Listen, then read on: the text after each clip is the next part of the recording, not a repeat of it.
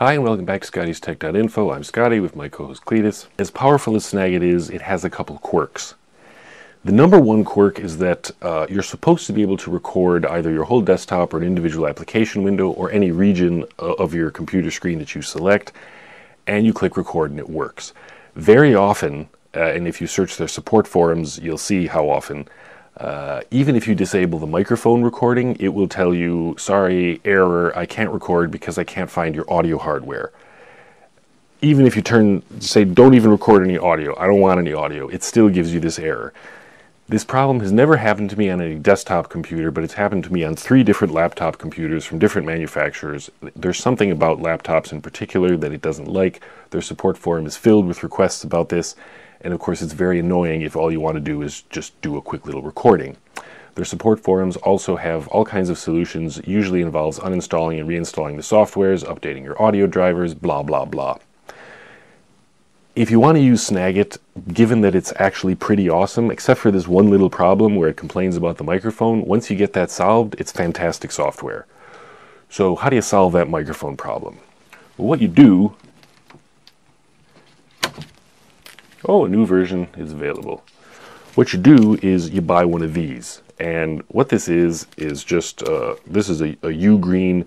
You can get any old one. It's basically just uh, an audio an audio chip, a sound card essentially in a USB stick. And you have a, uh, a headphone slash microphone jack here.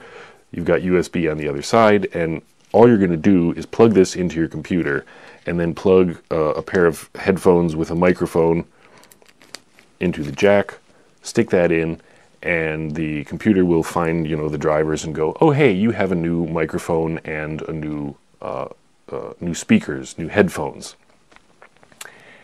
And if you want to record from the microphone, you just use this guy as your microphone instead of the one built into your laptop, and everything will work. The microphone error will stop, everything will work beautifully.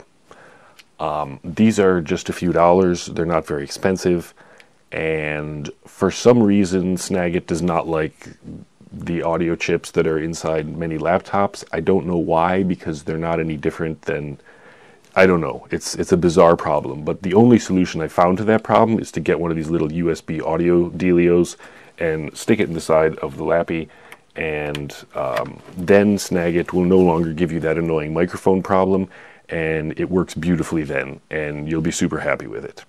For more techie tips, see scottiestech.info, or if you're having a problem that you can't quite solve, I actually have uh, three different tiers of service. The first of which is free.